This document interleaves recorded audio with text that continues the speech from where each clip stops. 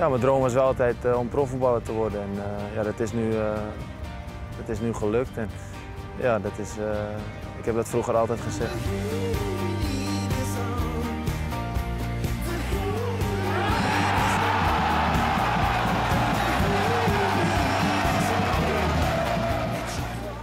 Wie was jouw grote voorbeeld?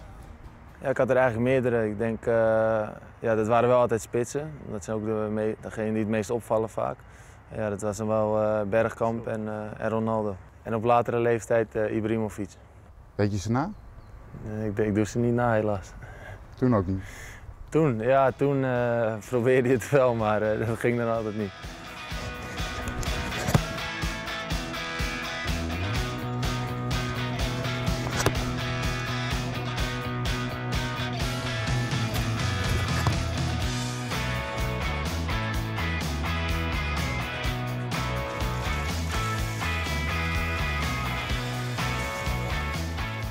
Ben je nou elke dag met voetbal bezig?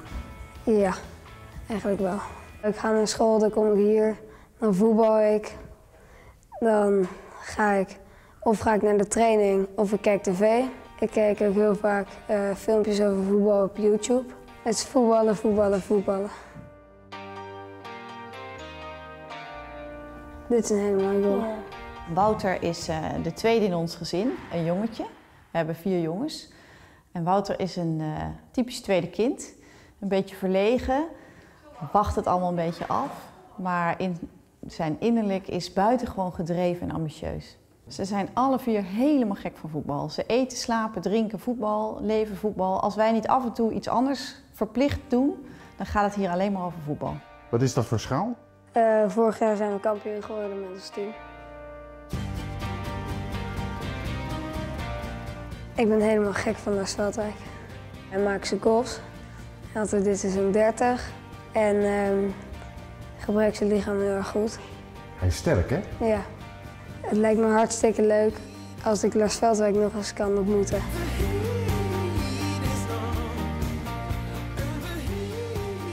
Al onze jongens zijn gek van uh, voetbalspelers. Ze hebben allemaal idolen internationaal en dan hebben ze idolen bij Feyenoord. Maar ze spelen natuurlijk bij Excelsior. En ja, Lars Veldwijk heeft, ik weet niet hoeveel goals deze competitie gemaakt. Dus ja, welk kind is niet gek van Lars, Lars Veldwijk? Zijn er wel eens dingen die je van hem nadoet? Ja, als ik is het met een kopbal en hij scoort ook vaak met, met zijn hoofd.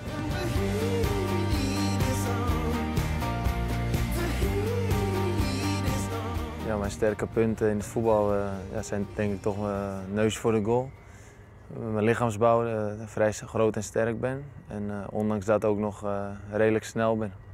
Ik heb wel een goede jeugd gehad en achter, achter mijn moeders huis lag een voetbalveldje. En ja, mijn moeder moest me daar altijd komen ophalen om, om te komen eten, want anders kwam ik gewoon niet eten. En ja, ik was eigenlijk altijd aan het voetballen en ja, eigenlijk tot, tot aan mijn 16 is dat zo gebleven. Deed jij alles voor het voetbal? Nee, vroeger niet. Uh, ik heb ook heel lang bij de amateurs gespeeld. Uh, ik had wel altijd zoiets dat ik heel graag profvoetballer wou worden, heb ik vroeger ook altijd gezegd. Alleen ja, ik heb tot mijn 17 in de amateurs gespeeld. Dus ja, op mijn 16 ging ik ook gewoon uit en, en dan deed ik dingen met mijn vrienden. En,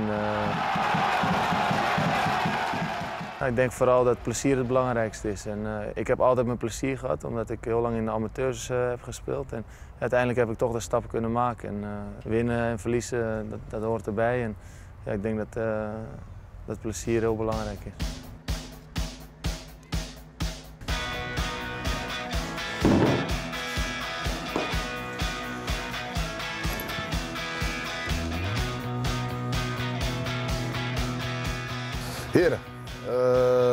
Gewoon weer lekker trainen. Jullie mogen gaan vast wennen aan het leven van de prof. Dan word je af en toe opgenomen. Ja, we gaan één keer zwaaien naar die camera, dat is goed. Ja? Hoi, hoi, hart is goed, oké. Okay. Maak gebruik van de ruimte. Kom maar, in beweging, zonder bal, vooral in beweging. Kaats.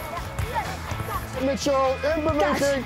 Kom aan. Ik speel verdedigende middenvelder. De passing, uh, de bal afpakken, daar ben ik goed in. Wouter is een jongen die heel fanatiek is in zijn sport. Ja? Hij wil graag winnen. Uh, ja, leeft helemaal op als hij hier bij de club komt. Als het aan Wouter ligt, uh, zet hij zijn bed hier neer na, naast de kantine. die zal hier ook wel ongetwijfeld iedere dag te vinden zijn. Ian, Ian, Ian, kom. Wij vinden het heel erg leuk als ouders dat de kinderen sportief uh, zijn. En of dat dan voetbal of een andere sport is, had ons niet zoveel uitgemaakt. We vinden het gewoon belangrijk dat ze sporten. En dat ze buiten zijn en bezig zijn en met vriendjes dingen kunnen doen. Een paar ballen meenemen. Iedereen zou een sport moeten doen. Dus als je als kind begint met een basis uh, vroegtijdig te sporten, ja, is dat gewoon uh, goed. En natuurlijk ook dat stukje, ze gaan op school, moeten zich heel lang concentreren. Komen bij de voetbalclub aan. Kunnen even gewoon lekker de spiertjes losgooien, lekker ontspannen, met de vriendjes samen voetballen. En ja, uh, ongeacht op welk niveau je voetbalt, plezier voorop en het is gezond. Draai. Hier in de buurt, als je wil voetballen, ga je naar Excelsior. Dat is de club die hier om de hoek is. Dat is voor iedereen. En uh, als je echt in de selectie wil komen, dan zijn daar uh, selectiedagen voor. Daar hebben wij niet aan meegedaan. En Wouter wilde dat zelf heel graag, dus die heeft zelf zijn vinger opgestoken. En die is naar de trainer gegaan en heeft gezegd, mag ik daar ook bij? En dat is gelukt. James, James! Hallo, hallo.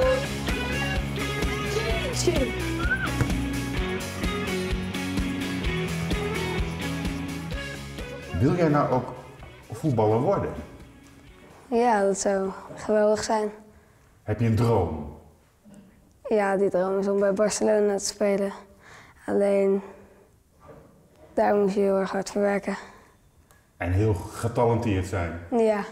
Wij houden onze kinderen voor dat, ik geloof 0,01% of zo misschien profvoetballer wordt. Dus dat de kans dat ze dat worden niet zo heel erg groot is. Wouter en Max centraal. Ja? Kinderen hebben vaak ten doele dat ze ja, een profvoetballer willen worden. Uh, gaandeweg de rit daar naartoe, wat velen niet redden. Uh, zorgen wij ervoor dat ze natuurlijk attent erop blijven dat voetbal uh, gaat om het plezier. En wij hebben hier aan het einde van het seizoen ieder jaar te maken met spelers die we moeten teleurstellen. Dat! Zo doen we dat! Dat is een Wouter, goed gecoacht ook. Uitstekend! Ik denk dat dat uh, een van de waardevolle dingen zijn van jeugdige sportende kinderen. Dat ze leren dat het niet altijd succes is. Dat ze ook leren incasseren. Teleurstellingen horen bij het leven. En ik vind hoe eerder je dat leert verwerken en daarmee om leert gaan, zal je een sterker mens maken. Dat beseffen ze nu nog niet, maar uh, later zullen ze er vast profijt van hebben, denk ik.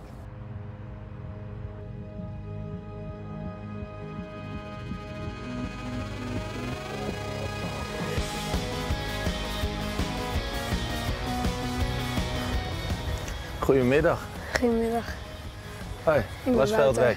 Wouter, speel je ook bij Excelsior? Ja. Ja? Welk Ja. team? In de RJO D2. Oké. Wat zou je zelf nog willen verbeteren? Ehm, het bal afpakken Ja. en ja, techniek. Welk, welk been ben je? En rechts. Rechts. En links? Kan ja, daar- de- daar kan ik wel mee. Train je dat veel? Eh, ja, best wel. Ja? Oké, dat is belangrijk.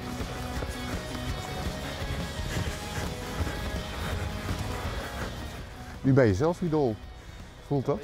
Ja, ik, eh, soms besef ik het nog niet helemaal. Eh, ja, als je dan ziet ook vandaag, als je, als je met zo'n jongetje aan de slag gaat, ja, die, die kijken er echt naar uit en eh, die bezorgen je gewoon een leuke dag.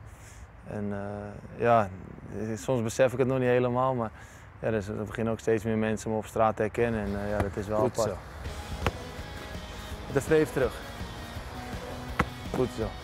Herken je jezelf als je kleine jongetjes aan het voetballen ziet? Ja, zeker. eh, hoe we hier komen met een, met een voetbalshirtje aan. eh, ik heb al mijn voetbalshirts van vroeger ook nog. En eh, ja, dan mocht je ja, altijd met een bal op stap en eh, altijd met mijn vriendjes voetballen. Is het voor die kinderen heel belangrijk om te sporten, hè?